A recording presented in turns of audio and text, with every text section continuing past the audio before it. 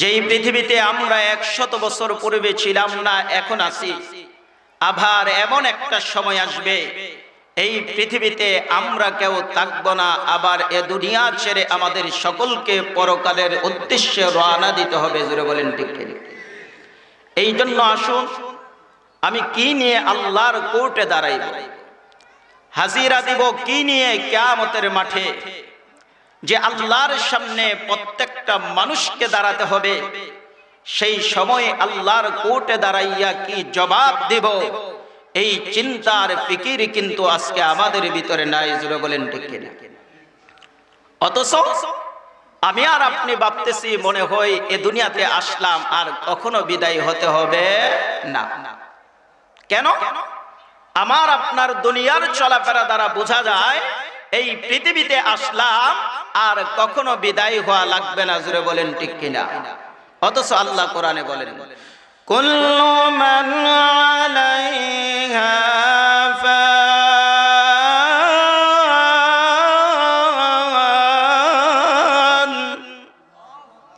আল্লাহ বলেন কুল্লুমান আলাইহা পান এই পৃথিবীতে যা কিছু আছে, একদিন সকল কিছু ধ্বংস হয়ে যাবে।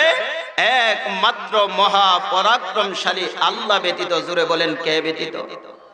আর একটু জুড়ে কর। আল্লাহ ব্যতীত এই পৃথিবীতে যা আছে, সকল কিছু ধ্বংস হয়ে যাবে। একমাত্র মহা পরাক্রমশালী আল্লাহ ব্যতীত, জুড়ে বলেন ঠিক কিনা? তাহলে আসুন, বোঝা যায় আমি আর আপনি পৃথিবীতে থাকার জন্য আসি নাই। নির্দিষ্ট পরিমাণ একটা সময় দিয়ে আল্লাহ দুনিয়াতে পাঠাইলেন। আবার যখন সময়টা শেষ হয়ে যাবে, আমাকে, আপনাকে অবশ্যই বিদায় হতে হবে জুড়ে বলেন, হবে কিনা এই জন্য আমার, আমি আর আপনি দুনিয়ার জমিনে থাকার জন্য আসি নাই। আল্লাহ নির্দিষ্ট পরিমাণ একটা হায়াত দিয়ে আমাকে আপনাকে দুনিয়াতে পাঠাইলেন। পরে দুনিয়ার মুসলমানেরা, আজকে তুমি আর আমি মনে করি এতেকাল হয়ে গেল আমার জীবন, এখান থেকে শেষ, না না। আল্লাহ বলেন, বান্দার দুনিয়ার হায়াতটা হলো ষাট থেকে সত্তর বছরের জিন্দগি। ও বান্দা, শুনে রাখো, এই ষাট থেকে সত্তর বছর জিন্দগির জন্য তুমি কত পরিশ্রম করতেছো রে বান্দা? ওরে বান্দা, রাত দিন তুমি জমিনের ভিতরে পরিশ্রম করো। ওরে বান্দা, ক্ষেতের ভিতরে ফসল ফলাও, কত পরিশ্রম করে। মিল কারখানায় চাকরি করো রে বান্দা। ওই ষাট থেকে সত্তর বছর জিন্দগির জন্য তুমি কত পরিশ্রম করো। ওরে বান্দা শুনে রাখো, ওই হায়াতটা যখন তোমার শেষ হয়ে যাবে, ওরে বান্দা এতেকাল তোমার যখন হয়ে যাবে এতেকাল করার সাথে সাথে পরলুকে একটা জীবন আমার আপনার আছে কিনা? আরও জোরে বলেন, আছে কিনা? কারণ আল্লাহ রব্বুল আলামিন বলেন, সাতটা বিষয়ের উপর ঈমান আনা বান্দার উপরে যেটা ফরজ, এর মধ্যে একটা হলো, কিয়ামত দিবসের উপরে বিশ্বাস করা মুসলমানের জন্য ফরজ। জোরে বলেন, ঠিক কিনা? এই জন্য ভাইরা আমার আজকে আমরা দুনিয়ার জমিনে চলে ঠিকই, কিন্তু অন্তরের ভিতরে এতটুকু ভয় নাই। আর মৃত্যুর পরে তো আল্লাহর কোর্টে আমাকে আপনাকে দাঁড়াতে হবে। ওরে মুসলমানি বান্দারেরা, আজকে দুনিয়ার জমিনে তুমি অন্যের সম্পদটা আত্মসাৎ করতেছ। ভাই ভাইয়ের সম্পদ আত্মসাৎ করেন মুসলমান। মুসলমান, শুনে রাখো। আল্লাহর নবী বলে কামতের মাঠে সব চাইতে বড় অসহায় হবে ওই ব্যক্তিটা। যেই ব্যক্তিটা দুনিয়ার জমিনে মানুষের হক নিয়ে কবরে ঘুমাইবে। সব চাইতে বড় অসহায় হবে ওই লোকটা যে দুনিয়ার জমিন থেকে মানুষের হক নিয়ে সে কবরে গেল। এই জন্য ভাইরা আমার, আজকে দুনিয়ার জমিনতে বিদায় হয়ে গেলাম, পরলৌকিক জীবন শুরু হয়ে গেল। আল্লাহ রাব্বুল আমার তেলাওয়াতকৃত আয়াতের ভিতরে আল্লাহ পরকালের আলোচনা তুলে ধরেছেন, কিয়ামতের বিভীষিকাময়ের আলোচনা আল্লাহ তুলে ধরেছেন। ও দুনিয়ার মানুষেরা, কিয়ামতটা কেমন হবে? আল্লাহ কোরআনে কারিমের ভিতরে বলে দিয়েছেন, আল্লাহ বলেন ইজাজুল জিলাতিল আরদু জিলজালাহা। মানুষেরা তোমরা মনে করেছ, ওই মৃত্যুটাই তোমার শেষ, না ও বান্দা এতেকালের পরে তোমার আসল জীবন শুরু হয়ে গেল। ওই জীবনটা যদি সুখে আর শান্তিতে কাটাইতে চাও, ওরে বান্দা, অবশ্যই আল্লাহর গোলামি করে কবরে যেতে হবে। কার গোলামি করে? আরও জোরে বলেন। এ মুসলমানেরা আজকে দুনিয়ার জমিনে যারা নামাজ ছেড়ে দেয় ওদের ধারণা হলো কালের পরে আমার জীবন নাই। ও মুসলমান, যারা আজকে দাঁড়ির ভিতরে বেলেট লাগাও, তাদের ধারণা হলো আজকে যুবকরা তো মনে করে আমার মনে হয় এতেকাল হবে না। আমি আরও ষাট বছর, সত্তর বছর হায়াত আমার আছে। ও মুসলমান, শুনে রাখো, ও যুবক, কে বলেছে তোমার সত্তর বছরের হায়াত আছে রে যুবক? কত যুবক রাস্তায় বের হই, আর সন্ধ্যার সময় সাদা কাপড়ের প্যাকেট হয়ে বাড়িতে ফিরে। আছে কিনা যুবক ভাই? এই জন্য যুবক ভাইরা আজকে তুমি আর আমি চিন্তা করি এখনও দাঁড়িয়ে রাখার বয়স আবার বই নাই। ও যুবক, আজকে তোমার যদি এখনও বয়স হয় নাই, ও যুবক, কে বলেছে তুমি বিবাহ শাদী করবে রে যুবক? এ যুবক, কে বলেছে তোমার সন্তান হবে? ও যুবক, তুমি যদি চিন্তা করো আজকের রাত্রিতে আজরাইল আমার সামনে এসে যায়, আল্লাহর কোর্টে দাঁড়াইয়া কি জবাব দিব? ওই চিন্তা যদি কোনো যুবকের ভিতরে থাকে ওই যুবকটা কখনো আল্লাহর নাফরমানি করতে পারে না। মানুষের ভিতরে যদি এই ভয়টা থাকতো, আহারে আজরাইল হতে পারে, এক্ষুনি আমার সামনে আসতে পারে আসতে পারে কিনা? আরও জোরে বলেন, পারে কিনা? এই জন্য ভাইরা আমার, আল্লাহ আমার রাতের ভিতরে কিয়ামতের বিভীষিকাময়টা কেমন হবে? আল্লাহ সূরাতুর শুরুতে আলোচনা করেছেন ইজাজুল জিলাতিল আরদু জিলজালাহা। হে দুনিয়ার মানুষেরা, তোমরা মনে করেছ, ওই দুনিয়ার জীবনটাই আসল? না রে না রে বান্দা, পরকালে একটা জীবন আছে। ওরে বান্দা, শুধু পরকালের জীবন নয়, পরকালে কামত বলতে একটা জিনিস আছে। ওই কামতের মাঠে আমাকে আপনাকে দাঁড়াতে হবে। কামতের মাঠটা কেমন ভয়াবহ হবে না মুসলমান?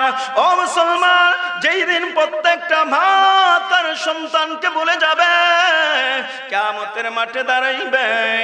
সব চাইতে ভয়াবহ হবে আল্লাহর রসুল বলে। তিনটা সময় সবচাইতে কঠিন হবে।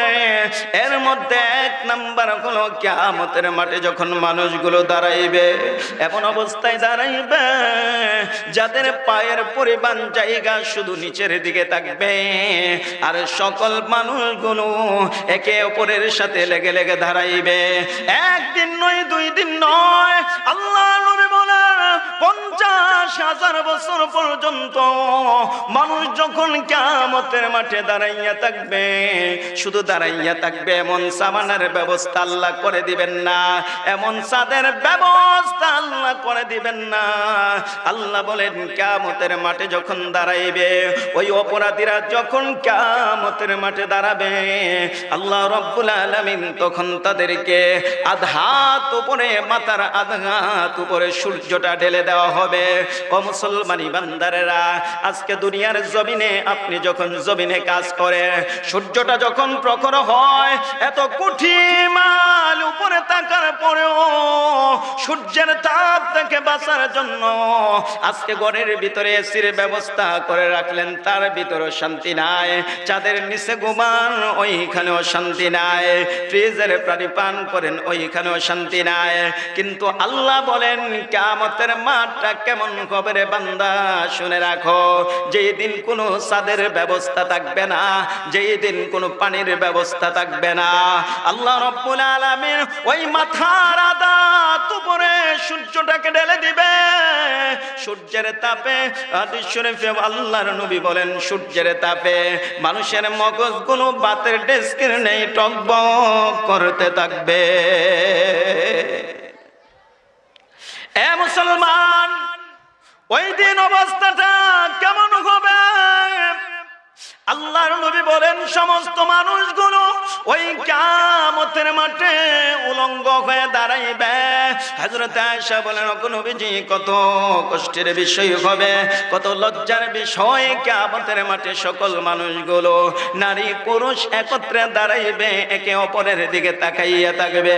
আল্লাহর নবী বলেন, আয়েশা, শোনো, না না, একে অপরের দিকে তাকাইবে তো দূরের কথা। মানুষ এরকম পাগল হয়ে যাবে আল্লাহ বলেন ওয়াতারান্নাসা সুকারা ওয়ামা হুম বিসুকারা ولكن عذاب الله شديد আল্লাহ রব্বুল আলামিন বলেন সেই দিন দেখবা মানুষগুলো পাগলের মতো হয়ে গেছে মানুষ পাগলের মতো ছুটা ছুটি করতে থাকবে আল্লাহ বলেন না না ওরা দুনিয়ার জন্য পাগল হই নাই, ওরা দুনিয়ার সম্পদের জন্য পাগল হই নাই। আল্লাহ বলেন, ওয়া মা বিসুকারা, ওয়ালাকিন্না আযাবাল্লাহি শাদীদ। আমি আল্লাহর আযাবের বয়ে তাদেরকে দেখবা পাগল হয়ে গেছে। ওই হাসরের ময়দানে একদিন নয়, দুই দিন নয়, পঞ্চাশ হাজার বছর পর্যন্ত দাঁড়াইয়া থাকবে। মানুষগুলো বেহুশ হয়ে যাবে।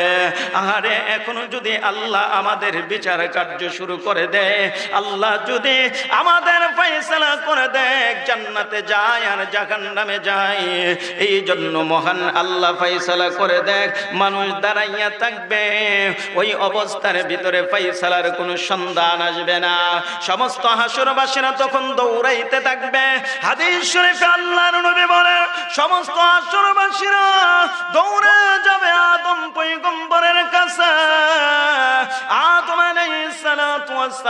কাছে। গিয়ে বলবে, ও তুমি তো আমাদের প্রথম নবী, প্রথম পিতা। আজকে আল্লাহর কোর্টে দাঁড়াইয়া আমাদের জন্য একটু সুপারিশ করেন না। আল্লাহ যাতে ওই কামতের মাঠের বিচার কার্য শুরু করে দেয়। সকল হাসরবাসীরা দৌড়ে যাবে আদম পৈগম্বরের কাছে। গিয়ে বলবে হ্যাঁ আদম পৈগম্বর, আল্লাহর কোর্টে একটু সুপারিশ করেন না, আল্লাহ যাতে আমাদের বিচার কার্য শুরু করে দেয়। জুড়ে বলেন এ মুসলমান ভাইরারে আমার, এবার আদম আলাইহিস সালাম ডাক দেয়া বলবে, ও হাসরবাসীরা আজকে আমি আল্লাহর কোর্টে দাঁড়ানোর মতো শক্তি আমার নাই। আমি আল্লাহর কোর্টে দাঁড়াইতে পারব না। কেন পারব না জানি না। আল্লাহ আজকে আমার ফাইসালা কি করে দেয়? আল্লাহর কোর্টে দাঁড়ানোর মতো শক্তি আমার নাই। আজকে আমি দাঁড়াইতে পারব না। কেন জানি না। আল্লাহর নিষিদ্ধ গাছের ফল আমি বক্ষণ করেছিলাম। আল্লাহ রব্বুল আলামিন আমাকে নিষেধ করেছিল, লা তাকরাবা হাযিহিশ শাজারা ফাতাকুনা ওই জান্নাতের ভিতরে যা আছে সবগুলো তুমি দেখো, বিচরণ করো, সব বৃক্ষের ফলগুলো তুমি খাও, কিন্তু ওই বৃক্ষটার কাছে যেও না। আমি আল্লাহ ওই বৃক্ষটার কাছে যাইতে নিষেধ করলাম। আদম পৈগম্বর চিন্তিত, আরে জানি না আল্লাহ আমার অবস্থা কি করে? ও হাসরবাসীরা যা যা, তোমরা চলে যাও হজরত নূহ আলাইহিস সালাতু ওয়াস সালামের কাছে। মুসলমান ভাইরারে আমার, সকল হাসরবাসীরা এবার দলবদ্ধ হয়ে দৌড়াইতে থাকবে নূহ পয়গম্বরের কাছে। নূহ আলাইহিস সালামের কাছে যাওয়ার পরে সকল হাসরবাসীরা ডাক দেয়া বলবে, ও পৈগম্বর নো, আল্লাহর কাছে সুপারিশ করেন না। মহান আল্লাহ যাতে কামতের মাঠের বিচারটা আরম্ভ করে দেয় সকল হাসরবাসীরা নূহ পৈগম্বরের কাছে যাবে। এবার নূহ আলাইহিস সালাম একই জবাব দিয়ে বলবে, ও হাসরবাসীরা, আমি নূহ পৈগম্বর। আজকে আল্লাহর কোর্টে দাঁড়ানোর মতো সুযোগ আমার নাই। আমি দাঁড়াইতে পারব না। জানি না আল্লাহ আমার ফয়সালা কি করে। তোমরা চলে যাও হযরত ইব্রাহিম আলাইহিস সালাতু ওয়াস সালামের কাছে। জুড়ে বলেন, সুবহানাল্লাহ। মুসলমান ভাইরা আমার এবার সকল হাসরবাসীরা দৌড়াইতে থাকবে ইব্রাহিম আলাইহিস সালাতু ওয়াস সালামের কাছে। এবার কে বলবে ও আল্লাহর খুলে আল্লাহ আপনাকে অনেক মহব্বত করেছে, মহব্বত করে খলিল নাম উপাধি দিয়েছে। ও আল্লাহর খুলিল আল্লাহর কাছে সুপারিশ করেন না, আল্লাহ যাতে বিচার কার্য শুরু করে দেয়, আল্লাহ যাতে আমাদের ফেসলা শুরু করে দেয়। মুসলমান ভেড়ারে আমার, আল্লাহর খুলিল ডাক দেয়া বলবে ও হাসরবাসীরা যা যা। আমি আজকে পারব না আল্লাহর কোর্টে দাঁড়ানোর মতো সুযোগ আমার নাই। আমি আল্লাহর কোর্টে দাঁড়াইতে আজকে পারব না। তোমাদের জন্য সুপারিশ করতে পারব না। কিন্তু আজকে দাঁড়ানোর সুযোগ নাই। তোমরা চলে যাও আমার কাছ থেকে। আমি চিন্তিত কেন নানি? আল্লাহ আমার সম্পর্কে ফাইসালা কি করে? মুসলমান ভেড়ারে আমার, সকল নবীরা কি জবাব দিবে?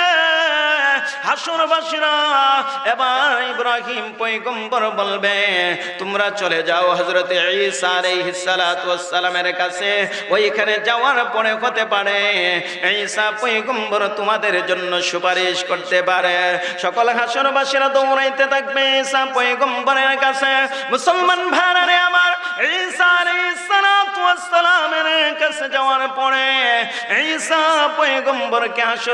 বলবে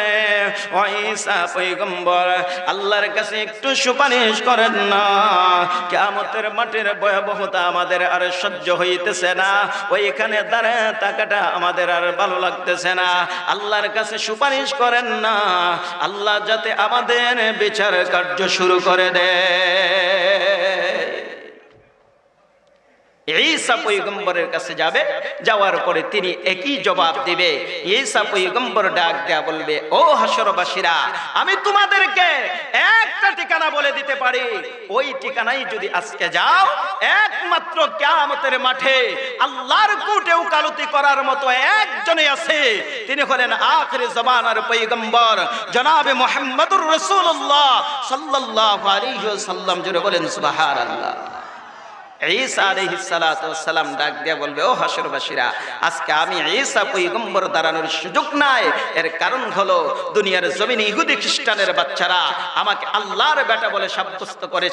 আমি তো নিজেকেই নিয়ে চিন্তিত। আল্লাহ আমার সম্পর্কে ফাইসালা কি করে? তোমরা চলে যাও, একটা ঠিকানা তোমাদেরকে দিতে পারে। ওই ঠিকানায় তোমরা যদি যাও, হতে পারে আজকে তোমাদের জন্য সুপারিশ করার অনুমতি। একমাত্র তিনিই পাবে। তিনি হলেন আখরে জামানার পৈগম্বর। জনাবে মোহাম্মদুর রসুল্লাহ সাল্লাহ আলী সাল্লামের কাছে তোমরা চলে যাও জুড়ে বলেন সুবহানাল্লাহ। সকল হাসরবাসীরা দৌড়াইতে থাকবে, আখরে জমানার পৈগম্বরের কাছে গিয়ে বলবে ভগবিশ্ব নবী আল্লাদের তো আর এই কেয়ামতের মাঠের ভয়াবহতা আমাদের আর সহ্য হইতেছে না, আর দাঁড়ায় তাকাটা সহ্য হইতেছে না, কারণ মাথার আধাত উপরে আল্লাহ সূর্য ঢেলে দিবেন। এই জন্য মুসলমান ভাইরারে আমার আল্লাহ রাব্বুল আলামিন ওই কিয়ামতের মাঠের ভয়াবহতা সূর্যটা যেদিন আধাত উপরে ঢেলে দিবে, ওই দিন আল্লাহর নবী বলেন, সাত শ্রেণির মানুষকে আল্লাহ আরশের নিচে স্থান করে দিবেন। জুড়ে বলেন কয় শ্রেণির মানুষ? আর একটু জোরে বলেন। সাত শ্রেণির মানুষকে আল্লাহ আরশের নিচে স্থান করে দিবে। এ যুবক ভাইরা, এর মধ্যে একদল যুবক থাকবে।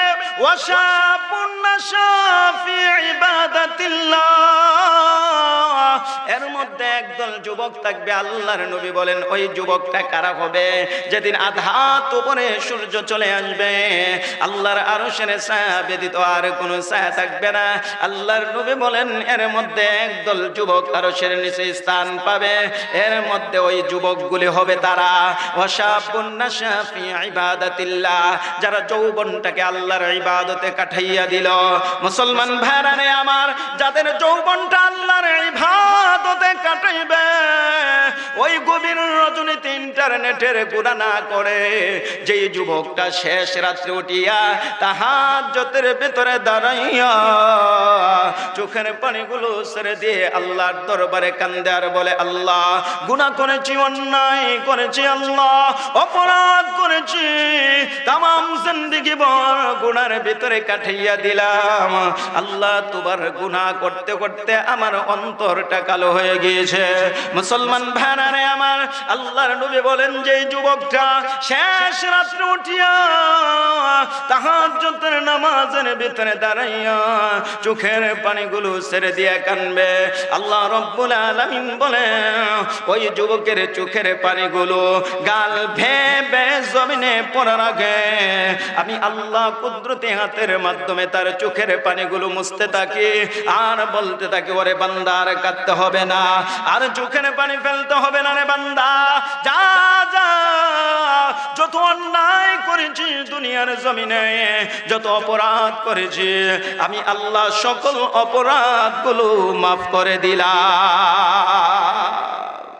এই জন্য যুবক ভাইরা আমরা গুণা করছি কিনা?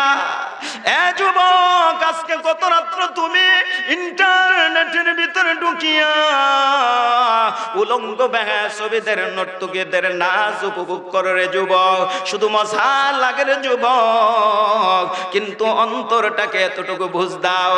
আরে আজকের রাত্রে যদি আজরাইল আমার সামনে এসে দেয় আমি আল্লাহর কোর্টে দাঁড়াইয়া কি জবাব দিব? ওরে যুবক ভাই ওই চিন্তা যদি তোমার অন্তরে থাকে, যার ভিতরে ওই চিন্তা থাকবে, যার ভিতরে কিয়ামতের মাঠের ভয়াবহতার ভয় থাকবে, আল্লাহর সামনে দাঁড়াইয়া জবাবদিহি করতে হবে, যার অন্তরের ভিতরে ওই বই থাকবে, ওই যুবকটা কখনো গুনার কাজ করতে পারে না।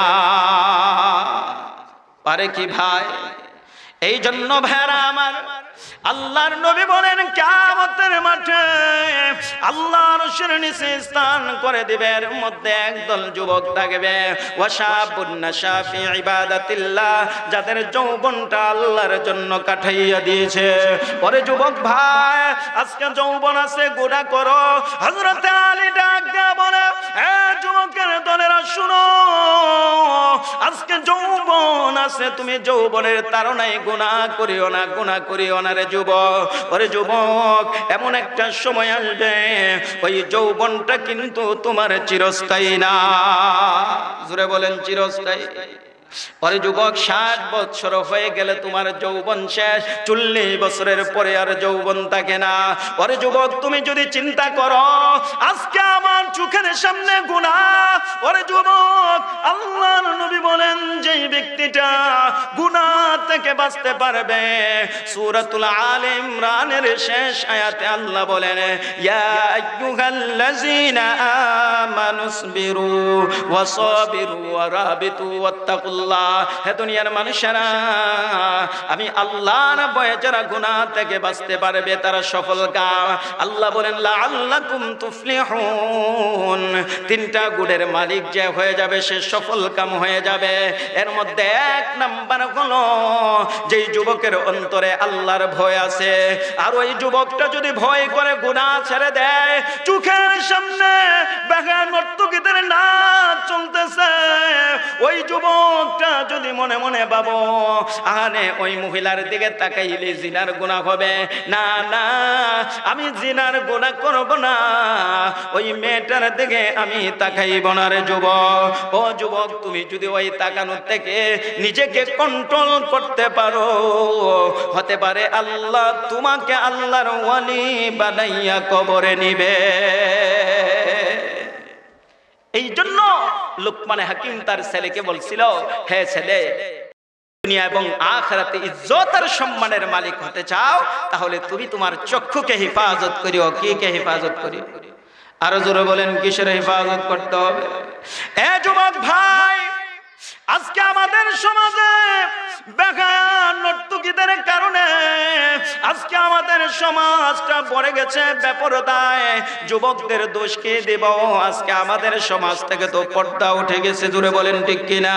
সরকার যতই প্রিজিং আর দর্শন সম্পর্কে আইন করুক না কেন, খুদার কসম করে বলে যতদিন পর্যন্ত আল্লাহর বিধান পর্দা কায়েম না হবে, ততদিন পর্যন্ত ইফটিজিং বন্ধ করা। সম্ভব না। জোরে বলেন যাবে? আর একটু জোরে বলেন। এই জন্য যুবক ভাইরা আজকে চোখের সামনে গুণা আসবে। কিন্তু যুবক, ওই গুণা থেকে যদি তুমি বাঁচতে পারো, আল্লাহর নবী বলেন যেদিন আল্লাহর আরও সেরে ছায়া ব্যতীত আর কোনো ছায়া থাকবে না। আল্লাহ রব্বুল আলামিন বলেন, ওই দিন ওই যুবকটাকে আরও সেরে নিচে স্থান করে দেওয়া হবে। ইবাদাতিল্লাহ। যাদের যৌবনটা আল্লাহর ইবাদতে কাটাইয়া দিল, ও যুবক এবার চিন্তা করে দেখো। কত রাত্রটা মমতাজ বেগমের গান শুনে কাটাইলা, কত রাত্রটা কোরআন হাদিসের আলোচনা শুনে শোনাইলা, কত রাত্রটা তুমি অগ্নিকণ্ঠা লাখির গান শুনলা রে যুবক। এ যুবক, মনটাকে বুঝাও, আজকে গান শোনার মাধ্যমে তুমি জিনার দিকে আকৃষ্ট হইতেছ। আল্লাহর নবী বলে আলকিনা উরুকিয়াতুজ জিনা। গান হলো মানুষকে গুনার দিকে আহ্বান করে, জিনার দিকে আহ্বান করে, ও মুসলমান যুবকেরা, আজকে আমাকে দেখলেও তো যুবক, আমিও একটা যুবক সন্তান রে। ও মুসলমান, আজকে তুমি যদি যুবক ভাই গুণা থেকে যদি নিজেকে বাঁচাইতে পারো, হতে পারে আল্লাহ গুণা থেকে বাঁচার কারণে কামতের মাঠে আল্লাহ রব্বুল আলামিন তোমাকে, আমাকে আরশের নিচে স্থান করে দিতে পারে। পারে কিনা আরও জোরে বলেন। এই জন্য যুবক ভাইরা আল্লাহর নবী বলেন, এক নাম্বার হলো যারা যৌবনটা ইবাদতে কাটাইল দুই নাম্বার হলো যাদের অন্তরটা সর্ব অবস্থায় মসজিদের দিকে লটকানো। এ যুবক আজকে আজান শোনার পরে তুমি আরও টেলিভিশনের চাওয়ানটা উঁচু দিয়ে গান শোনার যুবক, অন্তরের ভিতরে যদি এতটুকু আঘাত লাগতো, আজকে বহু যুবককে দেখি মসজিদে জামাত হয় আর যুবক গান বাজায় মসজিদের পাশে দিয়া যায়, এমন মানুষ আছে কি আরও জোরে বলেন, আছে কিনা? এ যুবক, নিজে তো নামাজ পড়ো না।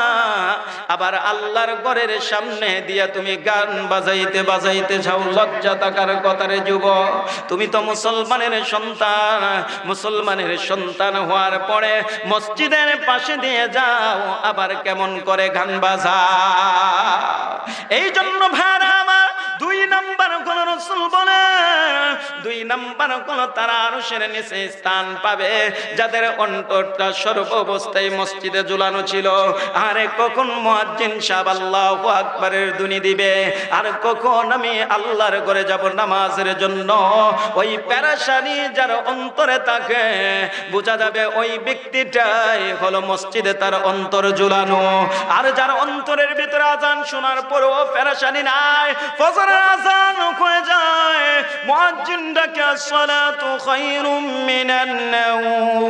ওই নামাজ ঘুমের চাইতে নামাজ ভালো মুয়াজ্জিন ওই বলে, আর শয়তান আমাদের হাত পা টিপে টিপে আরও ঘুমের ভিতরে বিবুর করে দেয় এই শীতের রাত্রে ফজরের নামাজ তো খুব মসজিদে খুব মুসল্লির অভাব, জোরে বলেন ঠিক? এ মুসলমানেরা এই জন্য রসুল বলেন, যার অন্তরটা সর্ব অবস্থায় মসজিদের দিকে লটকানো থাকবে, ওই ব্যক্তি কিয়ামতের মাঠে আরশের নিচে স্থান পাবে।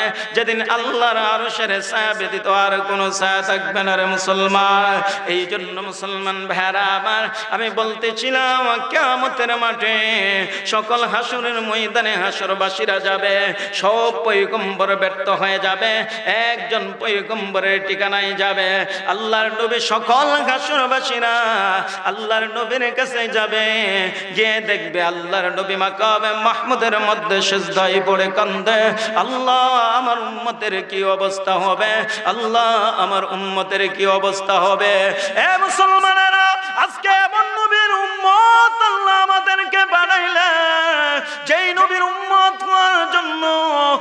অন্য পৈগম্বররা পর্যন্ত দোয়া করেছে। আল্লাহ, শেষ নবীর উম্মত বানাইয়া আমাকে ইন্তেকাল করিও। আল্লাহ, শেষ নবীর উম্মত বানাইয়া আমাকে দুনিয়ার জমিনে পাঠাও। ওই উম্মত হওয়ার জন্য অন্যান্য পৈগম্বর পর্যন্ত দোয়া করেছে। আর আল্লাহ আমাদেরকে বিনা দরখাস্তে শেষ নবীর উম্মত বানাইয়া দিলে। আমরা কেউ দরখাস্ত করেছি। জুড়ে বলে আল্লাহর কাছে কোনোদিন বলেছে, আল্লাহ আখির জমানার পৈগম্বরে নবীর উম্মত বানাও। এ মুসলমান!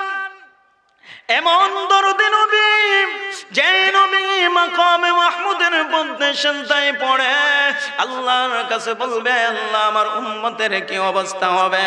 আল্লাহ আমার উম্মতের কি অবস্থা হবে? সকল হাসুরবাসীরা আল্লাহর নবীর কাছে যাবে। আল্লাহর নবী যখন সেজদায় পড়ে কান্দে থাকবে, আল্লাহ তখন ডাক দেয়া বলবে হবে আপনি সাজদা থেকে মাথা উঠা। আজকে ওই হাসনের ময়দানে অন্য কোন নবীরা সুপারিশ করার অনুমতি পাবে না।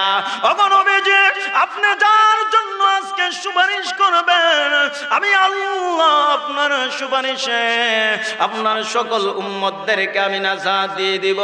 অগনবীজি আপনি আর কাঁদবেন না।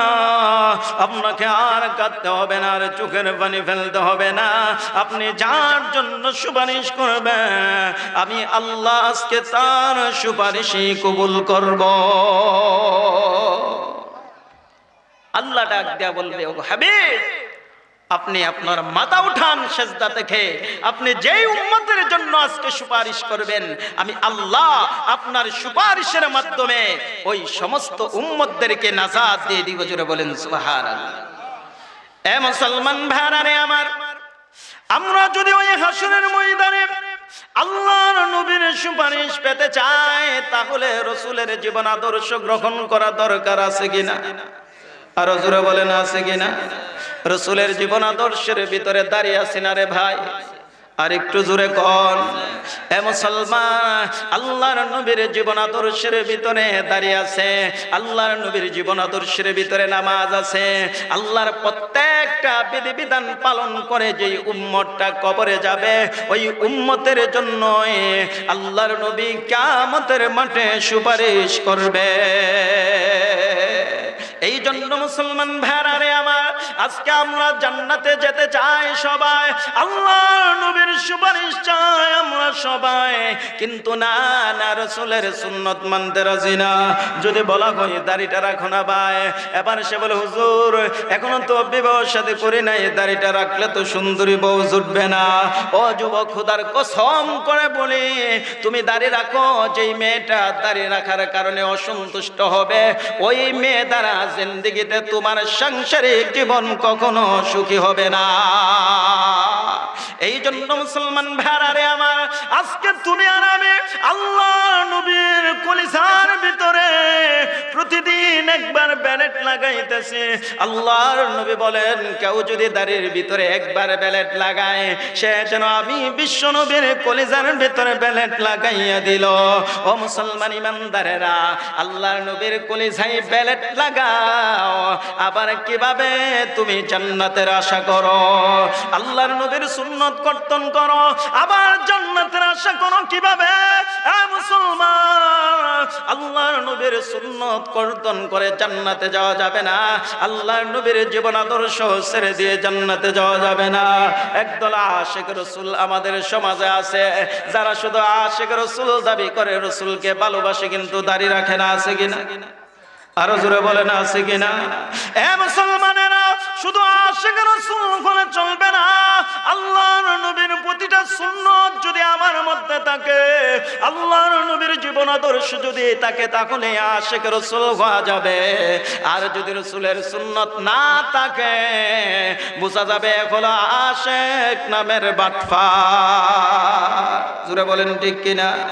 এমন আশেখ রসুলের আমাদের সমাজে অভাব নাই। দাড়ি কাটে আবার বলে আশেখ রসুল, নামাজ পড়ে না আবার বলে আশেখ রসুল।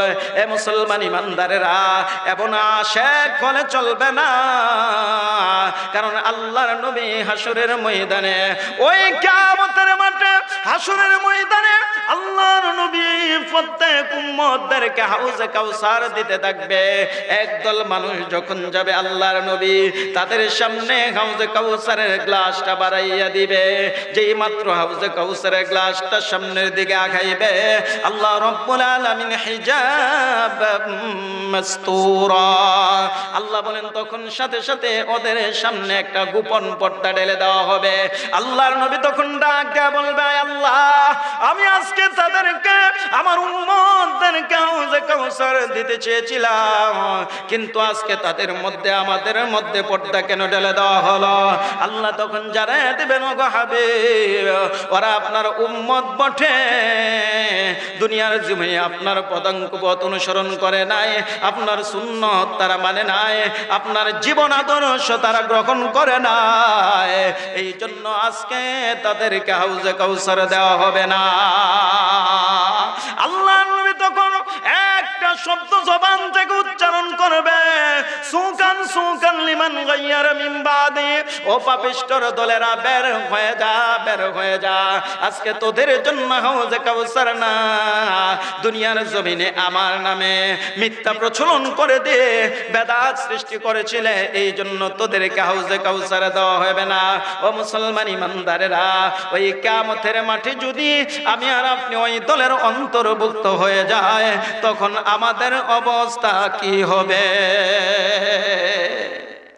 অবস্থাটা তখন কি হবে?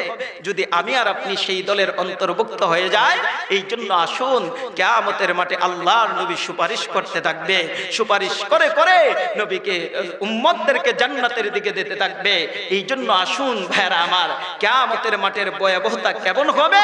আল্লাহ আমার তিলাওয়াতকৃত আয়াতের প্রথম আয়াতের ভিতরে আল্লাহ বলেন, ইজা জুলজিলাতিল আরদু জিলজালাহা ওয়া আখরাজাতিল الأرض أثقالها. আল্লাহ বলেন জমিন যখন তার কম্পনে কম্পিত হবে জমিন আরম্ভ করবে, এমন ভয়াবহতা হবে। ইসরাফিল আলাইহিস সালাতু ওয়াস সালাম যখন সিংহায় ফুৎকার দিবে, ফু দেওয়ার সাথে সাথে ওই জমিনের মধ্যে কম্পন সৃষ্টি হয়ে যাবে।